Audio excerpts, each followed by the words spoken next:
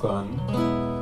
בעצם אה, נצא לסוג של מסע רב-תרבותי. אה, אצלנו זה, כמו שאריק איינשטיין אמר כבר בשנות ה-70, למה לא עכשיו, מה שבטח יבוא כבר מחר, אז לא צריך לחכות לעיר המחר, אנחנו חיים את זה יום-יום.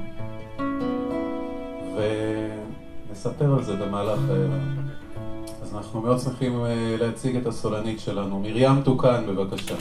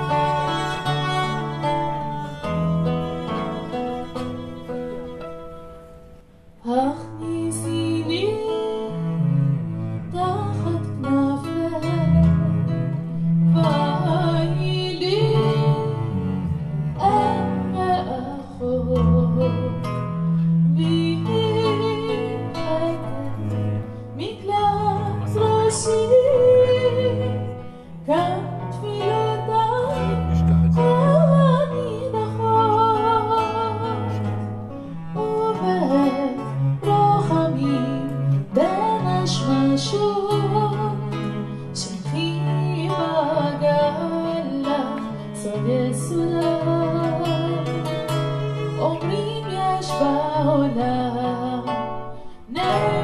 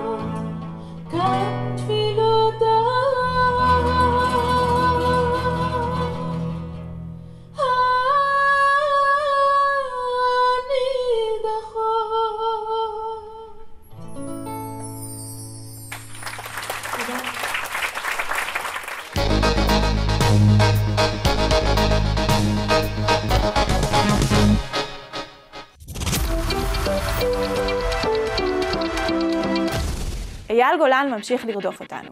בשבת בערב שידר ערוץ 2 רעיון מתוקשר של דנה וייס עם הזמר.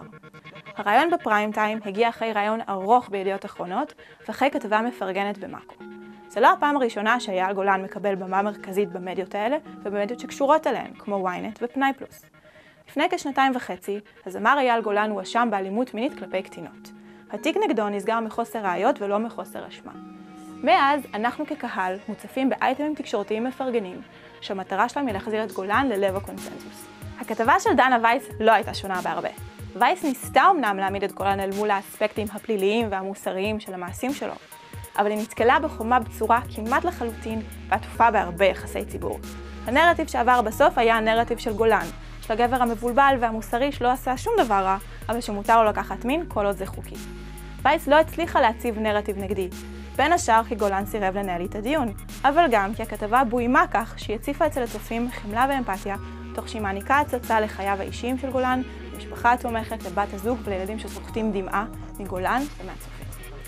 כל עוד ערוצי התקשורת ממשיכים לתת במה לאנשים שהמוסריות שלהם מפוקפקת, הם מאפשרים לאנשים האלה לשלוט בשיח ולעצב את הדימוי הציבורי שלהם.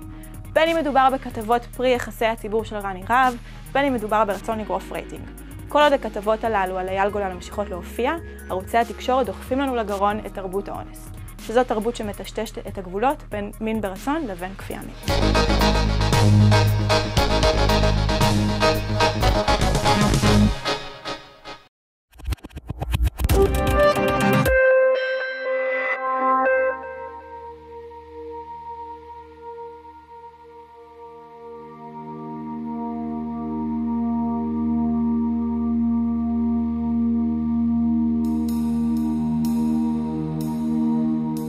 לפני יומיים יום רביעי בבוקר בשעה חמש באו העירייה אה, עם רשות הט- הטבע ואת יכולה לראות את העצים אפילו מהשורש שהוציאו אותם, מבינה? וזה האדמה שהיא שייכת לכפר, הם רוצים לקחת אותה לעשות אה, עוד בניינים ליהודים, אני לא מאמין שזה גן לאומי, אני מאמין שיהיה בעתיד עוד, עוד אה, כן, בניינים פה.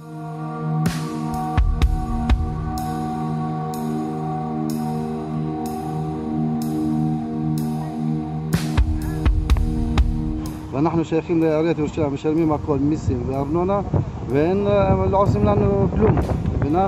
צריך לה- לדאוג לעתיד של בנים שלנו, של, של הילדים שלנו, איפה לגור בעתיד, מבינה? יש הרבה שטחים שלקחו אותם, עשו הרבה בתים בשבילם, שיישאר שטחים לנו לעשות בתים בעתיד לבנים שלנו.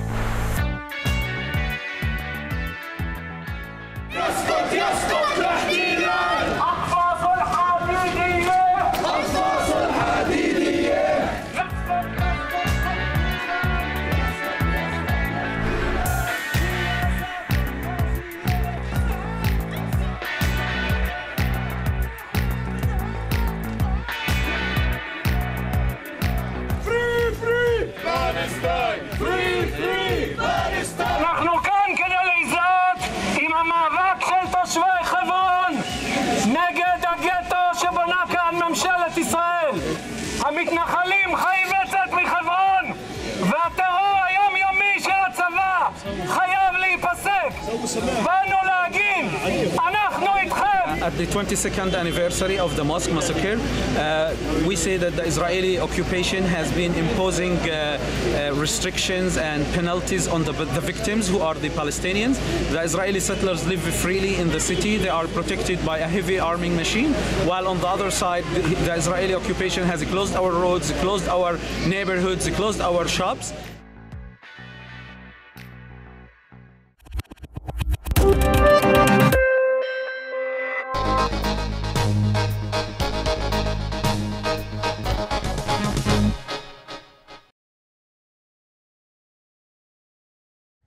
הבן שלי סיים בית ספר, הלך לעבוד בחברת קונפינו. הייתי ישן בלילה, אח שלי בא אמר לי, הבן שלך קיבל מכה, בוא נלך לסורוק לבאר שבע. נסעתי לשם, אני לא ראיתי את הבן.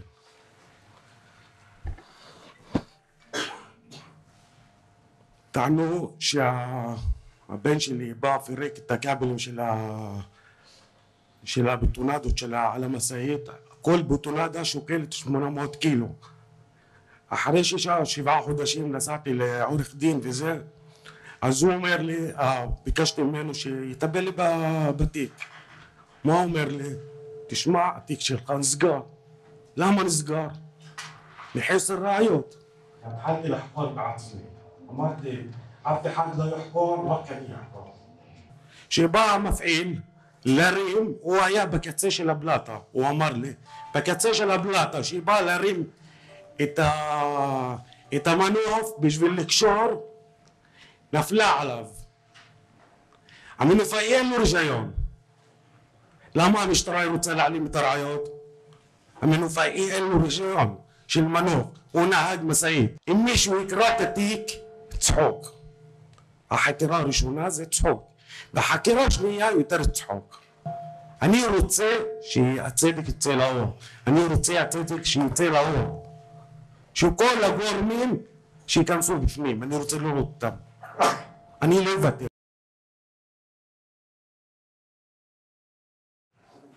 אבא שלי נהרג בתאונת עבודה באתר שקוראים לו מידטאון בתל אביב אחרי הרצאה, בדיוק אחרי שהעביר הרצאת בטיחות לממוצע של 20 פועלים שהיו, שהיו ברשותו. אה, כל התאונה הייתה ככה שמפעיל באגר, מפעיל צמא שנהג ברשלנות והוא העיף עליו אבן בטון אה, במשקל 300 קילו למרחק של 22 מטר מרודש של הבאגר. עכשיו מה שמפריע לי פה בנושא שאחרי שבן אדם נהרג בתאונה הכי קל לבוא ולהפיל עליו האשמה. למרות שכל העדים וכל המקרה אפילו המקרה עצמו שאני הייתי שם הגעתי אחרי המקרה בדיוק בחצי שעה אני איך שנכנסתי לשטח ראיתי את המקרה איך זה היה.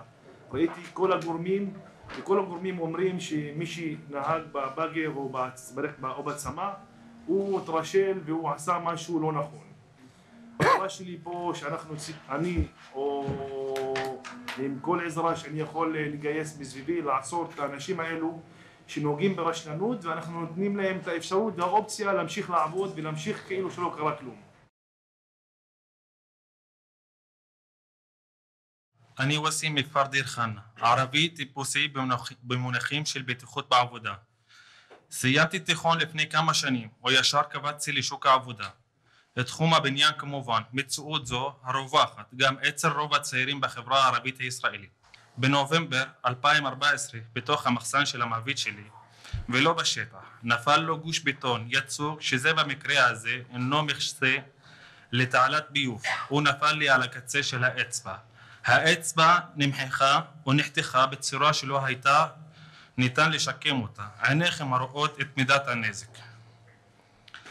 היום אני עומד ומסתכל אחורה ומשנן לעצמי את מוסר ההשכל ממה שאירע באותו יום ועכשיו אני מבין יותר או יותר כמה שזה מאוחר. מורגש לפחות בעיניי כי הרבה עובדים צעירים וגם, וגם לא צעירים שיוצאים לעבודה בשטח כי לא מעניין אותם בטיחות אלא פשוט הם יוצאים לגבות את שכר של, השכר שלהם נטו. הנקודה הינה כמה אנשים כאלו יפ, יפנימו כי ללא חשיבה על הבטיחות שלה, שלהם בעבודה יכול להיות שלא יחזיקו בכדי שיקבלו את השכר בסוף החודש הרשויות המחוקקת בראשן חייבת את צורת המחשבה הזו לחברה שלנו. תודה. אני אמא עליאן, אחותו של מוחמד עליאן שנהרג לפני חודשיים בתאונת עבודה. והכי כואב הוא לראות את בני משפחתי מנסים לקבל תשובות. מה קרה באמת? אם החקירה מתקדמת או שלא? אם האשם הולך לקבל את גזר דינו שהוא הולך להתחמק? האם יש עוד משפחות שהולכות לסבול בגלל הרשלנות באתרי העבודה? אף בן אדם או מוסד לא ניסו לתמוך ולעזור. בין אם מדובר על משרדי רווחה, משטרה או כל רשות אחרת. אין ספק שחקירת נסיבות הפגיעה ללא עיכוב, הטלת אחריות פלילית אישית על המעסיקים והרשעת הגורמים האחראים תהווה הרתעה ממשית. בפועל, לדאבוני הרב, המשטרה לא פועלת לחקירה מיידית של אירועים טרגיים אלה. האירוע שבמהלכו נפטר אחי, זיכרונו לברכה, בעקבות מעורבתו בתאונת עבודה זהו מקרה קלאסי, מוכיח את אזלת ידי המשטרה בעניין. התחלנו להרגיש שכולם שכחו, שפשוט הוסיפו עוד אחד למספר התאונות והמשיכו הלאה. לכן אני רוצה להזכיר לכם שאנחנו בכלל המשפחות של העובדים בני אדם ולא רק תעודות זהות עם תשעה מספרים שלא מפריע לרשויות למחק כמה מהם ולהתעלם מחלק אחר. זה אחי מוחמד, מוחמד בן כמה הוא היה? רחמת אללה עלי ועל ג'מיע אל-מפקודים جعل الله قبوركم روضة من رياض الجنة.